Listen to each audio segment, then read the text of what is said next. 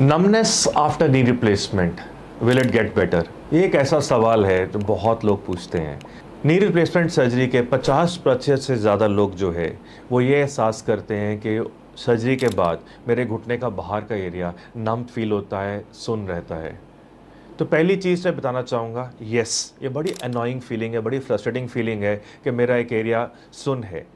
पर ये एक साइड इफ़ेक्ट है, कोई कॉम्प्लिकेशन नहीं है। ये सब समझने से पहले हमें समझना पड़ेगा कि उस एरिया की सप्लाई कैसे होती है।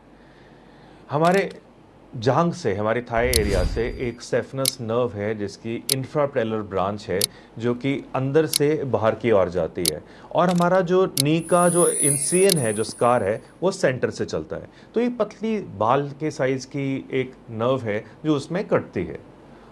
जब वो कटती है तो घुटने के जो बाहर का हिस्सा है, वो इतना हिस्सा अपनी नॉर्मल सेंसेशन नहीं ले पाता। जब वो सेंसेशन नहीं लगता था तो लोगों को लगता है, मैं अपना हाथ रख रहा हूँ या कपड़े पहन रहा हूँ, मुझे एहसास ही नहीं हो रहा वहाँ पर क्या है? और उससे बहुत वो घबरा जाते हैं। लेकिन आपको ये जानकर खुशी होगी कि जैसे जैसे समय बढ़ता है, हमें आसपास के जो एरियाज़ हैं, वो उसकी हीलिंग करते रहते हैं और धीरे धीरे जो इतना बड़ा एरिया था, वो बहुत छोटा बन जाता है और धीरे धीरे करके पूरा गायब हो जाता है। इसमें कोई पेन नहीं होती और उससे ज़्यादा, ये कोई नमनेस ऑफ़ फिंगर टिप्स नहीं है कि मेरे को ठंडे गर्म का पता नहीं चलेगा। ये एक आउटर एरिया ऑफ़ लेग है जिस पे केवल इतना एहसास रखना है कि हम उसके ऊपर बहुत कोई ठंडी चीज़ या बहुत गर्म चीज़ नहीं रखें बिकॉज़ हमारी फीलिंग्स सामान्य पहले की तरह नॉर्मल नहीं होंगी। लेकिन अदरवाइज़ हमें daily daily course of action हमारी दिनचर्या के अंदर इससे कोई तकलीफ़ नहीं आएगी।